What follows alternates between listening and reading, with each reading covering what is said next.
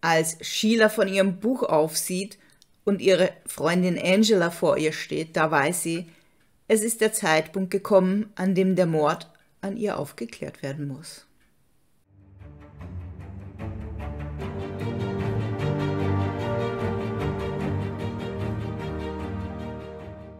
Hallo und herzlich willkommen zu einer neuen True Crime Time Story. Schön, dass ihr wieder mit dabei seid. Der heutige Fall führt uns zurück ins Jahr 1984. Es ist der 12. Oktober und Angela Samota, sie möchte gerne ausgehen. Angela, das ist die junge Dame auf dem oberen Foto hier. Sie ist eine junge Frau von 20 Jahren und sie hat eigentlich nicht so oft die Gelegenheit auszugehen. Sie studiert Ingenieurswesen und Computerwissenschaften im dritten Jahr an der Uni in Dallas. Und ihre Ausbildung, die ist ihr sehr wichtig. Sie ist die größte Priorität in ihrem Leben und so verbringt sie die meisten Abende, inklusive die Abende der Wochenenden, mit Lernen zu Hause in ihrem kleinen Apartment. Aber an diesem Freitagabend, da möchte sie mal raus. Und so ruft sie ihren Freund Ben McCall an. Sie fragt ihn, ob er Lust hat, heute mit ihr und einer Freundin auszugehen. Eigentlich weiß sie ganz genau, dass er am nächsten Morgen arbeiten muss. Er muss sehr früh raus. Ben, der hat sein Studium schon vor drei Jahren abgeschlossen. Er hat einen guten Job als Bauprojektleiter ergattert. Also, naja, Angela kennt die Antwort schon, aber na, sie möchte es doch zumindest versuchen. Die beiden sind seit zehn Monaten zusammen. Angela ist verliebt wie am allerersten Tag oder wie in der ersten Woche. Aber wie es kommen muss, die beiden unterhalten sich ein wenig. Ben hat keine Lust mitzukommen, er hat keine Lust, am nächsten Morgen völlig übermüdet arbeiten zu müssen. Und so lehnt er Angelas Einladung ab. Obwohl sie sich das eigentlich schon gedacht hat, ist sie ziemlich enttäuscht. Aber naja, auch wenn die junge Frau sich sehr ihrem Studium verschrieben hat, ihre Zeit hauptsächlich mit Lernen verbringt, Trotz allem hat sie einen ziemlich großen Freundeskreis. Es mangelt ihr auf keinen Fall an Freunden, mit denen sie ausgehen kann, wenn sie das möchte. Und hier bemerkt Angela, dass sie einen taktischen, strategischen Fehler gemacht hat. Sie hat Ben gefragt, ob er mit ihr und Anita ausgeht, also mit ihrer Freundin. Damit hat sie ihm aber vielleicht die Motivation genommen, mitzukommen. Also hätte sie vielleicht gesagt, sie wolle alleine los, dann hätte er vielleicht eingewilligt, mitzukommen damit sie nicht alleine ist, um sicherzustellen, dass ihr nichts passiert, um sie zu beschützen. Aber gut, die Chance hat sie jetzt vertan.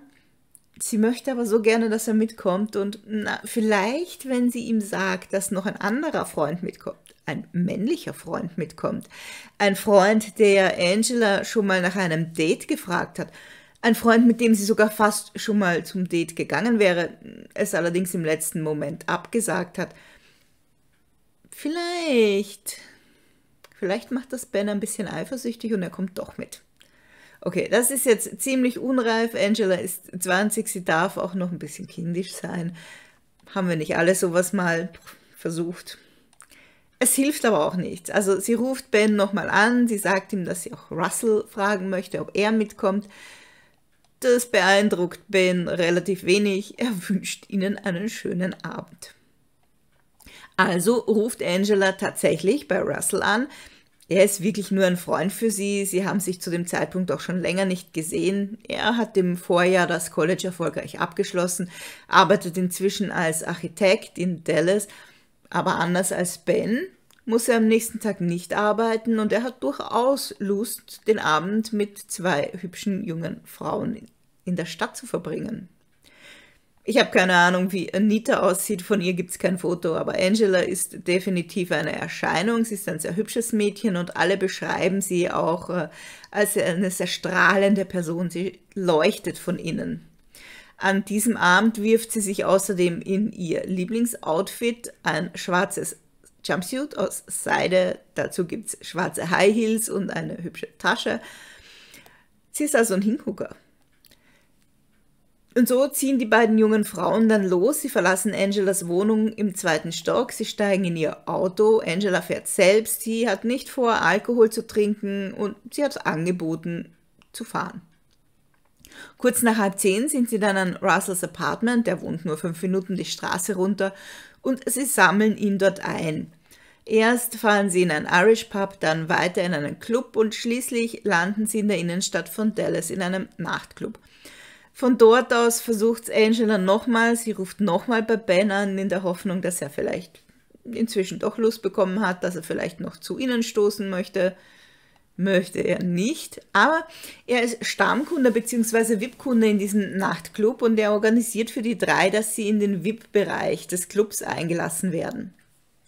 Und so feiern die drei dann also im VIP-Bereich, sie tanzen viel. Angela scheint jeden und jede zu kennen, sie geht von Tisch zu Tisch. Anita kommt es vor, als würde sie wirklich ausnahmslos mit jedem sprechen. Ist vermutlich ein bisschen übertrieben. Anita, die sagt nachher auch, dass sie sich so ein bisschen wie das dritte Rad am Wagen fühlt, auch dass Angela halt viel mit Russell tanzt. Sie scheint sich also so ein bisschen vernachlässigt zu fühlen. Nichtsdestotrotz haben die drei ihren Spaß, sie tanzen viel und so gegen halb eins dann ist Angela müde. Sie findet, es ist Zeit für sie zu gehen. Sie muss zwar am nächsten Morgen nicht arbeiten, aber sie hat trotzdem Pläne. Sie will mit ein paar Freundinnen nach Waco fahren, das ist ungefähr 100 Meilen südlich von Dallas, und sie wollen sich dort ein Footballspiel ansehen. Sie sammelt also Anita und Russell wieder ein, um nach Hause zu fahren. Draußen vor dem Club, da ist auch noch richtig viel los. Auch in Dallas gibt es am nächsten Tag ein wichtiges Footballspiel. Außerdem findet gerade eine Fair statt. Das ist so eine Landwirtschaftsmesse. Ich glaube, das ist so eine Mischung mit, also aus Messe und ähm, Vergnügungspark, Kirtag oder so. Vielleicht ist sogar ein Rodeo dabei. Keine Ahnung. Äh, es ist auf jeden Fall richtig voll. Die Stadt ist voll mit Touristen und alle sind am Feiern. Die drei allerdings, die fahren nach Hause. Eine Viertelstunde später halten sie vor Russells Haus an. Sie verabschieden sich. Russell umarmt Angela noch ziemlich lange sogar. Und Angela, die lädt dann Anita ein, bei ihr zu übernachten. Die will aber nicht, die will lieber nach Hause. Und so setzt sie die Freundin vor deren Apartment ab. Es verabschieden sich auch diese beiden. Angela, die wartet noch, bis Anita im Haus verschwunden ist und dann fährt sie weiter. Sie hat aber immer noch Sehnsucht nach ihrem Ben und so beschließt sie, bei ihm vorbeizufahren. Seine Wohnung liegt auch direkt auf dem Weg, ist kein großer Umweg. Vielleicht kann sie ja bei ihm übernachten. Und so klingelt sie kurz nach 1 Uhr nachts an seiner Tür und steht darauf hin natürlich einem total schlaftrunkenen Ben gegenüber. Äh, ja, also ich weiß auch nicht. Ich meine, ich verstehe ja, dass sie total verliebt ist, aber irgendwann könnte sie es ja auch kapieren, dass das keine gute Idee ist. Äh, er muss froh raus, er will einfach nur schlafen. Ben allerdings, der scheint ein total netter zu sein. Er macht jetzt zwar klar, dass er jetzt wirklich schlafen will, dass sie nicht hierbleiben kann, dass sie ihn nur vom Schlafen abhalten würde, aber er scheint ihr jetzt auch nicht böse zu sein. Also zumindest hebt er ab, als sie ihn kurz darauf erneut anruft. Es ist kurz vor zwei, er ist gerade wieder am Einschlafen. Äh, ich glaube, nicht jeder hätte da noch abgehoben. Er weiß genau, wer da anruft. Er hat natürlich recht, das ist erneut Angela. Aber ihr Anruf ist einmal alarmierend. Sie hat nicht jetzt noch was vergessen, was sie ihm unbedingt sagen muss, sondern sie klingt richtig verängstigt. Ben, sagt sie, rede mit mir. Und er weiß sofort, dass hier was nicht in Ordnung ist. Also Klar, zum einen ist das natürlich eine ungewöhnliche Anrede. Man ruft ja nicht jemanden an mitten in der Nacht, der schlafen möchte, um ihm zu sagen, dass er mit einem reden soll. Aber auch ihre Stimme, die sagt ihm eindeutig, hier ist was faul. Er hört dann Lärm im Hintergrund, eine Stimme, die irgendwas fragt, eine ziemlich aggressive Stimme. Ben fragt natürlich, was los ist, ob Angela okay ist. Sie zögert dann kurz, dann sagt sie, oh, ich habe einen Mann in meine Wohnung gelassen. Dann scheppert es nochmal gewaltig an Angelas Ende der Leitung und diesmal ist der Lärm auch viel näher als vorhin und dann sagt sie, ich rufe dich gleich nochmal an. Ihre Stimme klingt irgendwie gehetzt und die Leitung ist dann tot. Bender kann sich natürlich überhaupt keinen Reim auf die ganze Situation machen. Er ist jetzt hellwach. Er weiß nicht so recht, was er tun soll. Er wartet kurz darauf, dass seine Freundin wie versprochen zurückruft. Er versucht seinerseits sie zu erreichen. Es klingelt, sie hebt nicht ab. Es ist jetzt so ein Zwiespalt, weil sie hat ja gesagt, sie ruft gleich zurück und 1984, sie kann ihm ja nur am Festnetz zurückrufen. Wenn er jetzt losfährt und sie da anruft, dann verpasst er sie ja. Andererseits denkt er sich, okay, ich fackel lieber nicht lange, er zieht sich die nächstbesten Klamotten über, er läuft zu seinem Wagen. Es sind noch nur zehn Minuten Fahrt, Ben scheint zu fliegen, er hat auch für seinen Job ein Satellitentelefon im Wagen. Das ist eine wahre Rarität damals. Und er nutzt das jetzt natürlich, um immer wieder zwischendurch Angelas Nummer zu wählen, um zu sehen, ob sie abhebt. Aber naja, sein Klingeln scheint irgendwie ins Leere zu gehen. Sie hebt nicht ab. Als er dann bei ihrem Haus ankommt, da ist alles still. Er geht rein, also rauf. Da gibt es kein Treppenhaus, sondern da geht Außentreppen rauf. Er klopft, er klingelt an der Wohnungstür aber es öffnet ihm keiner.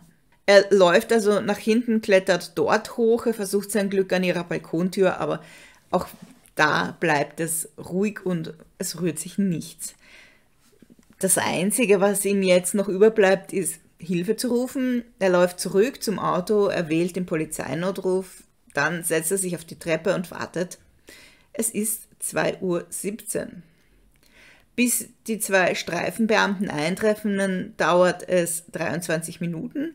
Auch sie probieren sie erst mit Klingeln und Klopfen und dann bitten sie Ben vom Hausmeister den Schlüssel zu besorgen, was er natürlich auch tut. Eigentlich rechnen die Beamten ja jetzt hier nicht mit einem schlimmen Verbrechen oder sowas.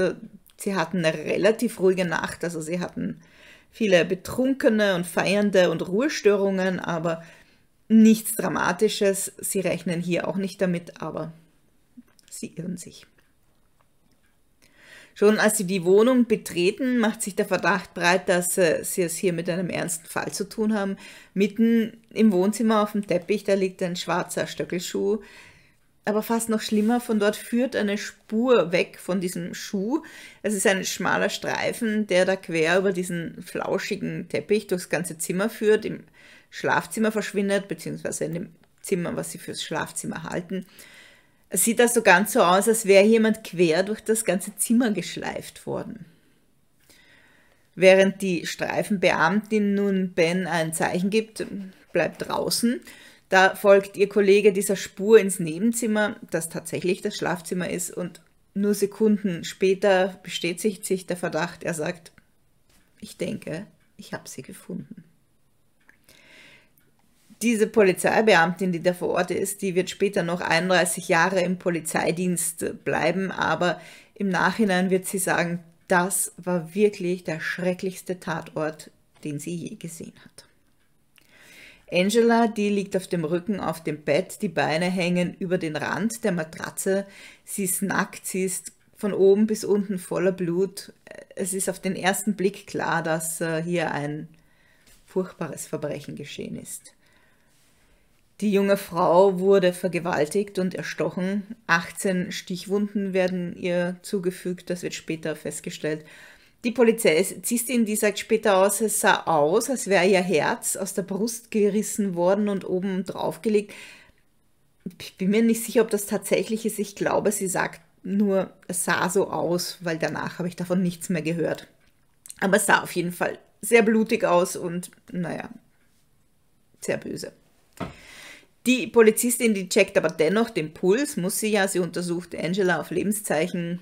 Sie findet keine. Ihr Kollege währenddessen kontrolliert das Apartment. Der muss ja sicherstellen, dass der Angreifer nicht vielleicht irgendwo noch da ist und sich irgendwo versteckt. Aber naja, der scheint tatsächlich über alle Berge zu sein. Wenig später wimmelt es auf der Straße vor dem Haus nur so von Polizeiautos. Blaulicht blitzt überall, die Spurensicherung ist da, der Gerichtsmediziner ist da und auch die Mordkommission. Schon von Anfang an tippen die Ermittler auf eine Sexualstraftat. Aus dem Apartment erscheint nichts zu fehlen, es scheint nicht durchsucht oder durchwühlt worden zu sein. Außerdem gibt es keinen Hinweis auf ein gewaltsames Eindringen. Angela muss ihrem Mörder selbst die Tür geöffnet haben. Abwehrverletzungen an ihren Händen und Armen, die deuten darauf hin, dass sie versucht hat, sich zu wehren. Blutspuren im Badezimmer wiederum, die geben den Ermittlern Hinweise darauf, dass der Mörder das Bad benutzt hat, vermutlich um sich selber dann wieder sauber zu machen und alles Blut abzuwaschen. Die Tatwaffe ist ein Messer, das wird am Tatort nicht gefunden. Der Täter muss es mitgenommen haben. Es fehlt allerdings ein Messer aus dem Messerblock in der Küche. Es wird also vermutet, dass der Täter dieses Messer dort verwendet hat und dann mitgenommen hat. Die Polizei ist jetzt überzeugt, dass Angela ihren Angreifer gekannt haben muss. Sie hat ihm ja schließlich die Tür geöffnet und deshalb wird natürlich erstmal in ihrem direkten Umfeld ermittelt. Im Verdacht stehen, ja klar, Ben und Russell. Außerdem gibt es da noch einen jungen Mann, der Angela wohl noch kurz zuvor gestalkt hat. Ihre Freundinnen waren da sehr besorgt, sie weniger keine Ahnung, was dahinter steckt. Er hat ja wohl Liebesgedichte geschrieben und geschickt. Er hat ja kleine Zettel mit Botschaften an ihre Windschutzscheibe befestigt. Ja, wenn er das, also wenn das alles war, was er gemacht hat, ist es wahrscheinlich nicht so wild. Aber das muss natürlich untersucht werden. Eine Freundin von Angela, die macht die Polizei dann auch noch auf Lance Johnson aufmerksam. Das ist Angelas Ex-Freund aus ihrer Heimatstadt Amarillo der hat das Beziehungsaus zwischen den beiden wohl lange Zeit nicht wirklich akzeptieren wollen. Anscheinend hat er Angela sogar mal mit einem Messer bedroht. Natürlich muss auch der auf die Liste. Als erstes überprüft wird Ben, nicht nur weil er Angela am nächsten steht, sondern auch der Polizei, also er steht ja direkt vor ihnen, er ist ja am Tatort. Wenn es stimmt, dass Angela ihn um 1.45 Uhr angerufen hat und er um 2.17 Uhr den Polizeinotruf gewählt hat, dann ergibt sich ein Zeitfenster von 32 Minuten, in dem der Mord geschehen sein muss. Und das müsste ja bedeuten, dass Ben den Mörder nur ganz knapp verpasst haben kann. Und das halten die Beamten erstmal für ziemlich unwahrscheinlich. Ben wird also gleich zum Verhör mitgenommen, er wirkt auch sehr ruhig, fast schon unbeteiligt. Er zeigt keine großartige Reaktion darauf, dass seine Freundin jetzt tot ist. Als er befragt wird, wiederholt er dann seine Geschichte, wie sie ihn angerufen hat, wie verängstigt sie war und dass sie sagte, sie hätte einen Mann in ihre Wohnung gelassen. Aber die Beamten, die glauben ihm nicht so unbedingt. Die Geschichte, die klingt ihnen einfach zu ausgedacht und naja, sie hat einen Mann in die Wohnung gelassen. Naja, das klingt halt auch so, als äh, würde er von sich ablenken wollen. Sie vermuten vielmehr, dass Ben eifersüchtig war, weil eben seine Freundin mit einem anderen Mann aus war, unterwegs war. Sie vermuten, dass er vielleicht äh, zornig war, dass er zu ihr gefahren ist, um sie zu bestrafen. Ben, der verweigert einen Lügendetektortest. Er willigt aber sowohl ähm, ein, eine Blut- als auch eine Speichelprobe abzugeben. Er lässt sich auch bereitwillig Proben von unter seinen Fingernägeln abnehmen. Und äh, er gibt der Polizei die Erlaubnis, seine Wohnung zu durchsuchen, sein Auto zu durchsuchen und auch seine Telefondaten auszuwerten. Also eigentlich, abgesehen von diesem Lügendetektor-Test, ist er ja relativ äh, kooperativ. Es macht auch durchaus Sinn, so einen Lügendetektor-Test zu verweigern. Das wird immer wieder gesagt, das hört man immer wieder. Auch wenn man völlig unschuldig ist, äh, man hat irgendwie dabei nichts zu gewinnen, man kann nur verlieren, denn diese Tests, die sind ja nicht so zuverlässig und wenn der Test jetzt sagt, okay, der sagt die Wahrheit, dann ist das so, naja, aber die Tests sind ja nicht zuverlässig.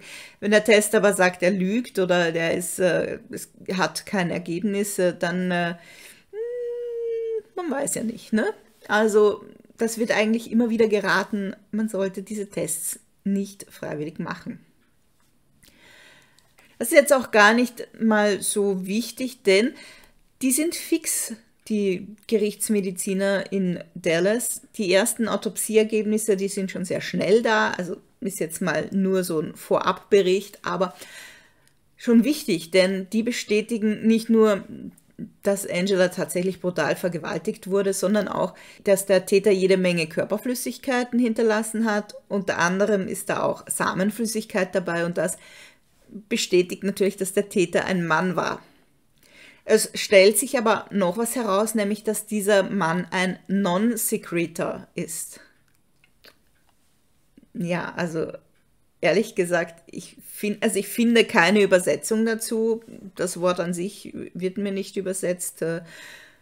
Ich habe noch nie was davon gehört. Wahrscheinlich habe ich in Bio nicht aufgepasst. Ich versuche es aber mal zu erklären, so wie ich es verstanden habe.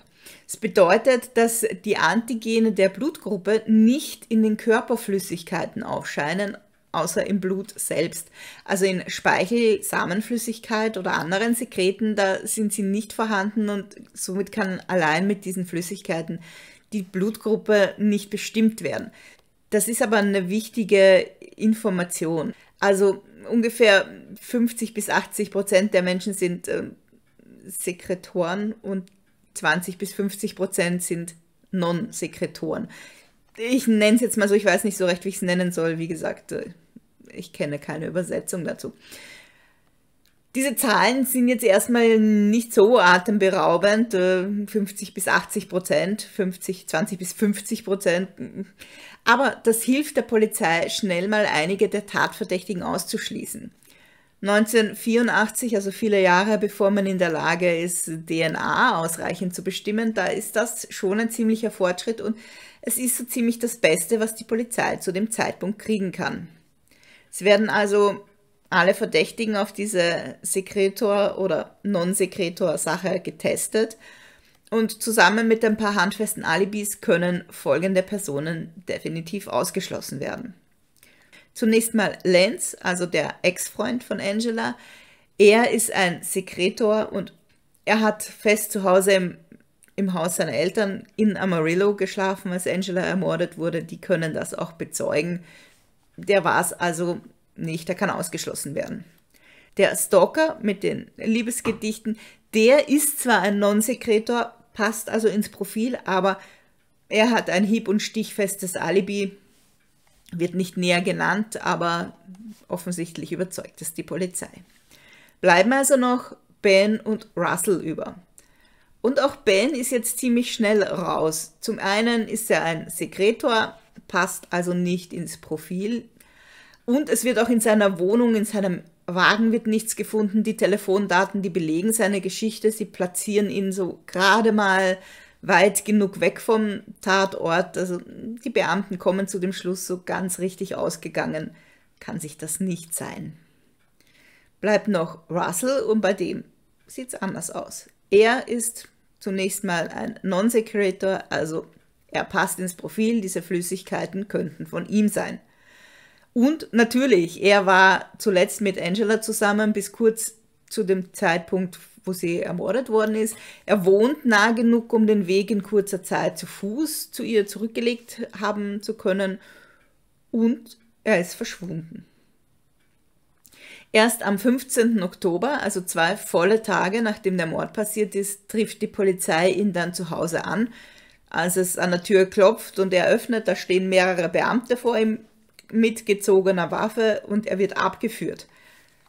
Er ist ziemlich verwundert. Er sagt aus, dass er zum einen mit dem Mord nichts zu tun hat, aber dass er bis zu dem Zeitpunkt, als die Polizei vor seiner Tür stand, auch nicht mehr gewusst hat, dass Angela überfallen wurde und tot ist.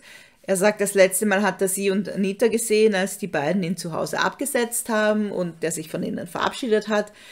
Er sagt auch, er hat nie eine romantische Beziehung zu Angela gehabt. Er weiß, dass sie einen Freund hat. Der ist auf diesen auch kein bisschen eifersüchtig.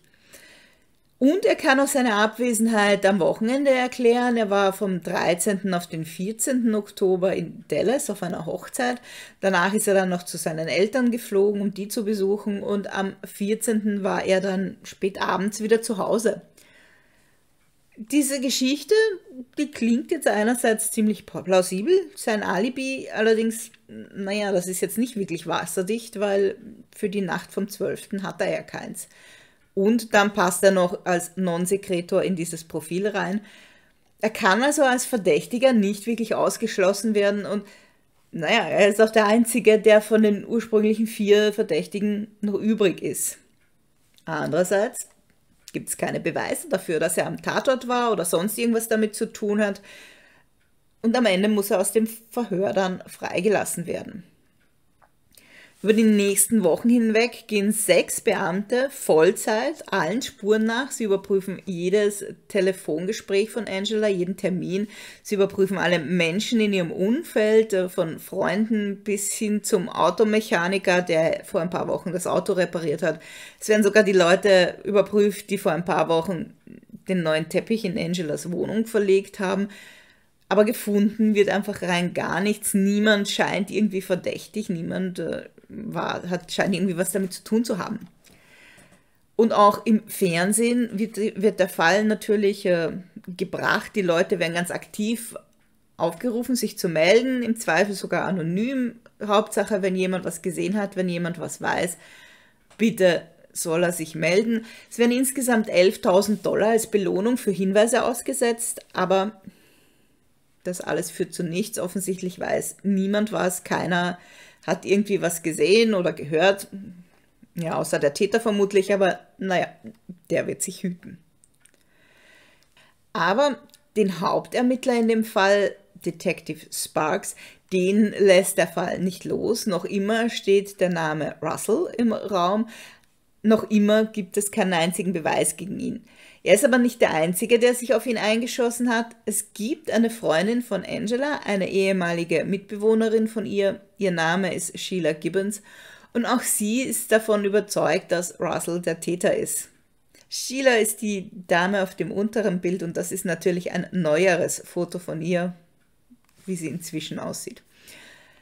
Sie jedenfalls bietet Detective Sparks an, sich verkabeln zu lassen und mit dem Verdächtigen zu sprechen. Vielleicht kann sie ihn ja irgendwie dazu bringen, dass er ihr was erzählt, dass er ihr gegenüber vielleicht sogar gesteht. Vielleicht kriegt sie ja irgendwas raus.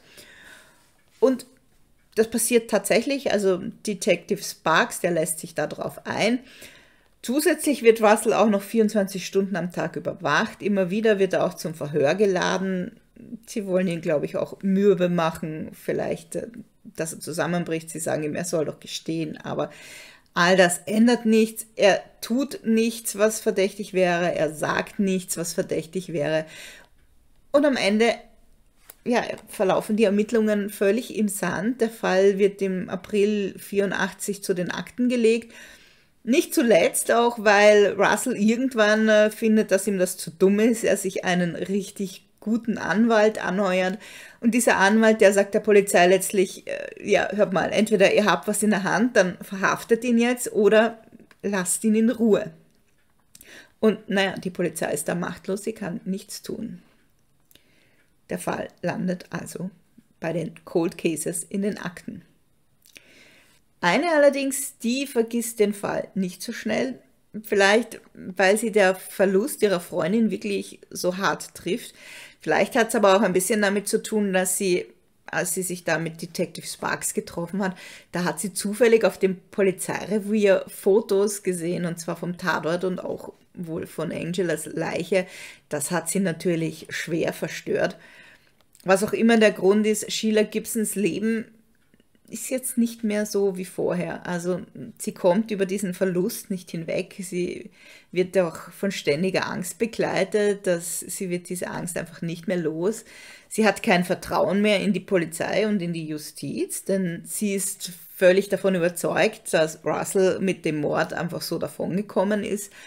Sie bricht letztendlich ihr Studium mitten im letzten Semester ab. Sie beginnt einfach nur so vor sich hin zu leben, verliert irgendwie so ein bisschen das Ziel im Leben. Und erst als sie dann 1986 einen Mann kennenlernt, sich verliebt äh, und diesen auch heiratet, da verläuft ihr Leben dann schön langsam wieder halbwegs in der Bahn. Sie heiratet also, sie bekommt zwei Kinder und das lenkt sie so einigermaßen von ihrem Trauma ab. Wir sind aber noch nicht am Ende. Wir springen jetzt ins Jahr 2004. Sheila, die ist inzwischen 43 Jahre alt. Sie lebt ihr Leben gemeinsam mit ihrer Familie in Nashville. Und sie hat Angela nicht vergessen, aber sie versucht halt die Gedanken daran möglichst wegzuschieben. Sie will sich ihr nicht ihr ganzes Leben dadurch zerstören lassen. Sie weiß, dass sie weitermachen muss und ja, dass es eben nichts ändert. Jetzt wird es allerdings ein bisschen gruselig, gruselig, gruselig. Als Sheila eines Abends allein zu Hause ist, da erscheint ihr Angela. Sheila, die sitzt auf dem Bett, sie lernt für irgendeinen Kurs, den sie gerade macht. Aber als sie kurz aufsieht, da lässt sie vor Schreck ihr Buch fallen. Sie erstarrt, denn vor ihr steht eben Angela. Sie trägt die gleiche Kleidung wie damals, als sie sie zum letzten Mal gesehen hat. Sie sieht genauso aus wie damals. Sie ist nicht älter geworden oder so. Und sie sieht ihr einfach nur stumm in die Augen. Mit dem nächsten Augenblinzeln ist sie dann auch schon wieder verschwunden. Aber für Sheila ist das jetzt ein Zeichen, und zwar ein Zeichen Gottes es zeigt ihr, dass es nun an der Zeit ist, dass der Mord an ihrer Freundin endlich aufgeklärt wird. Tatsächlich hat sich in der Zwischenzeit auch etwas geändert. Wir sind im Zeitalter der DNA angekommen. Sheila greift also zum Telefonhörer, sie wählt die Nummer des äh, Dallas Police Departments. Ja, keine Ahnung, was sie sich jetzt erhofft. Die sagen jetzt erstmal nicht, ah ja, super gute Idee, wir checken das mal. Nein, es gibt hier niemanden, der Cold Case Fälle bearbeitet und es gibt auch niemanden, der irgendwie daran Interesse zu haben scheint. So schnell allerdings gibt Sheila nicht auf. Klar, sie hat doch ein Zeichen Gottes erhalten. Und so ruft sie in den nächsten zwölf Monaten 781 Mal die Polizei in Dallas an und verlangt, dass die DNA-Proben aus Angelas Fall getestet werden in zwölf Monaten 781 Mal, das sind über zweimal täglich. Ich wollte es nur erwähnt haben. Dass man da jetzt nicht so ähm, euphorisch darauf reagiert, liegt zum einen wohl auch daran, dass man sich gar nicht sicher ist, ob die Proben überhaupt noch da sind. Wobei, das könnte man ja relativ schnell feststellen, aber gut. Und zum anderen ist so ein DNA-Test natürlich ziemlich teuer und es handelt sich da ja um Geld, das man nicht unbedingt in einen äh, über 20 Jahre alten Fall investieren möchte. Sheila, die sieht also, naja, so komme ich nicht wirklich weiter. Und sie beschließt, eine Ausbildung zur privaten Ermittlerin zu machen. Dann kann sie den Fall selbst untersuchen und die Polizei auch weitaus besser unter Druck setzen, also damit die den Fall nochmal neu aufrollen. 2006, also zwei Jahre nachdem ihr Angelas Geist erschienen ist, da macht sie dann auch endlich die ersten Fortschritte. Sie hat ihre Ausbildung jetzt ähm, abgeschlossen und in Dallas wird eine Abteilung für Cold Cases eingerichtet. Keine Ahnung, ob Sheila da ihre Finger im Spiel hat oder ob das einfach Zufall ist, aber durch ihre Hartnäckigkeit ist der Fall Angela Semota der erste, der von dieser Abteilung neu eröffnet wird. In Zusammenarbeit mit Sheila gräbt der zuständige Beamte dann die alten Beweise wieder aus. Die Proben finden sich zum Glück äh, wieder und er leitet eine Untersuchung der DNA ein. Als die Ergebnisse dann da sind, ist die Spannung natürlich groß. Sheila erwartet äh, eigentlich, dass umgehend ja, ein Treffer gefunden wird, denn nach wie vor ist sie überzeugt, dass Russell schuld war. Allerdings, Fehlanzeige, der war es nämlich tatsächlich nicht. Und auch sonst findet sich in der Datenbank des FBIs nicht umgehend eine Übereinstimmung. Der Täter ist offensichtlich nicht darin erfasst. Das Einzige, was Ermittler jetzt tun können, ist, naja, die Datenbank regelmäßig zu prüfen, immer wieder nachzuschauen, gibt es jetzt vielleicht einen Treffer, gibt es jetzt eine Übereinstimmung. Ja, es ist also mehr oder weniger abwarten und Tee trinken. Sheila, die trifft sich dann mal zur Aussprache mit Russell, der inzwischen ein erfolgreicher und angesehener Architekt ist, und sie bittet ihn um Verzeihung auch dafür, dass sie damals versucht hat, ihn da irgendwie äh, reinzureden, ihn zu überführen mit, ihr, mit ihrer verkabelten äh, Falle, die sie ihm da gestellt hat. Und Russell, der ist da nicht kleinig, er vergibt ihr ziemlich schnell und großzügig. Auch er ist froh eigentlich, dass er jetzt von dem Verdacht endlich freigesprochen worden ist. Und ja, das verdankt er ja auch Sheila. Insofern ist das sozusagen eine Win-Win-Situation. Es sollen zwei weitere Jahre vergehen, bis Sheila dann endlich im Jahr 2008 einen Anruf von der Polizei in Dallas bekommt. Es gibt doch noch einen Treffer, es gibt doch noch eine Übereinstimmung mit der DNA des Täters und es ist ein vollkommen Fremder. Sein Name ist Donald Bess, er ist 36 Jahre alt, also ich denke, er war 36 Jahre alt, als er Angela überfallen hat. Er ist seines Zeichens Serienvergewaltiger und er war rein zufällig im gleichen Club unterwegs, in dem auch Angela mit Anita und Russell war. Und als Angela ihn dann zufällig und natürlich völlig unabsichtlich beim Vorbeigehen im Gedränge mit dem Arm streift, da ist es um ihn geschehen. Eine kurze, unbeabsichtigte Berührung gibt ihm ja den Kick, er kann seine Augen nicht mehr von ihr lassen. Und als sie und ihre Freunde schließlich den Club verlassen, da geht er einfach hinterher er sieht, wie sie ins Auto steigen, seines steht ganz in der Nähe, er steigt ein, bis sie da aus der Parklücke raus ist, ist er auch schon da. Und er fährt ihnen einfach hinterher.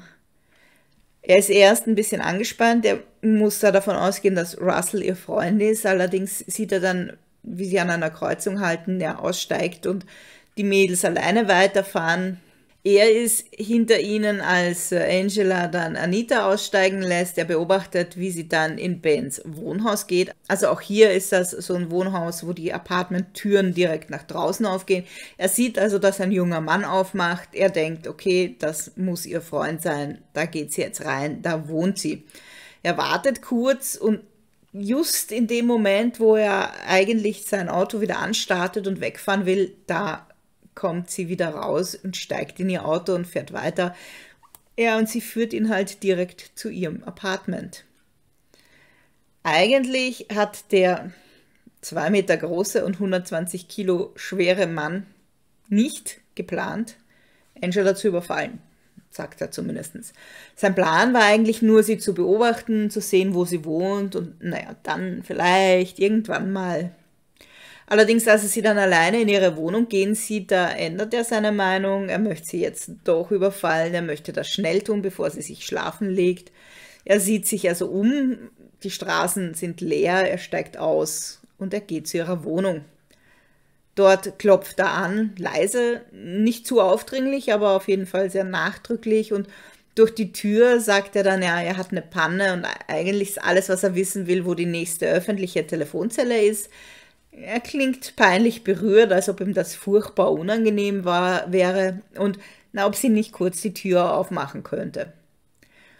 Angela, die scheint irgendwie beruhigt zu sein durch diesen Tonfall. Sie schließt die Tür wieder auf, allerdings noch bevor sie den Türknopf ganz rumgedreht hat. Da stößt der Fremde dann auch schon durch die Tür, er drängt sie zurück in die Wohnung und ja, also er faselt immer noch von der Telefonzelle und wo dann die nächste öffentliche Telefonzelle ist, aber gleichzeitig macht er halt auch die Tür hinter sich zu und er sperrt sich mit seinem Opfer ein.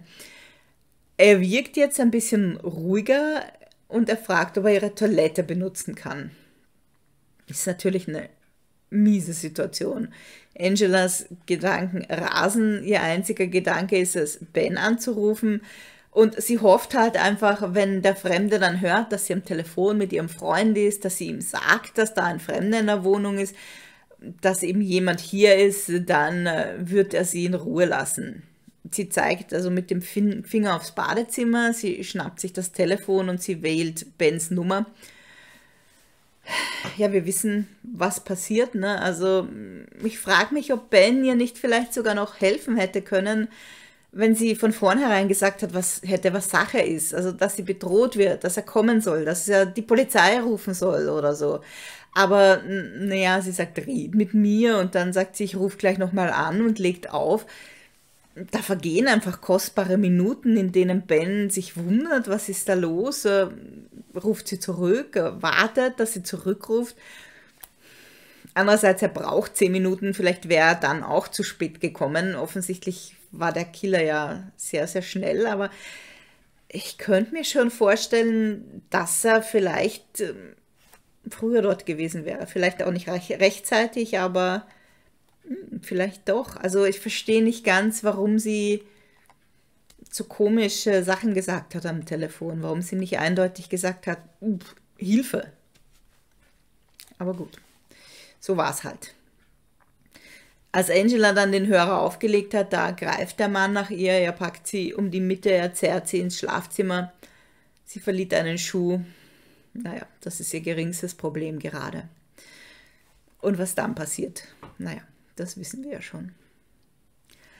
Zu dem Zeitpunkt, als diese Übereinstimmung gefunden wird, da sitzt dieser Donald Bass bereits im Gefängnis. Auch vor der Tat war er schon als Straftäter bekannt.